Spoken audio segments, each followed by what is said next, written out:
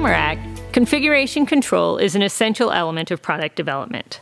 Configuration control is the activity of managing the product and related documents throughout the life cycle of the product. Configuration control falls under Part 21 of the Code of Federal Regulations, which specifies the procedural requirements for issuing and changing airworthiness and design approvals.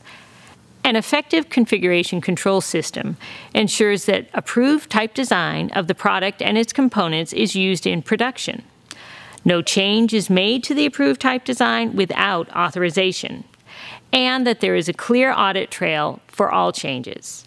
A complex product consists of hundreds of parts, which need to be tracked, managed, and controlled, along with their related tooling, fixtures, templates, specifications, manuals, and reports.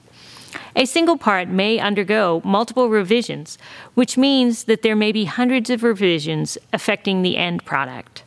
The manufacturer must assure that the as-designed configuration will meet the functional requirements and the as-built configuration corresponds to the approved as-designed configuration.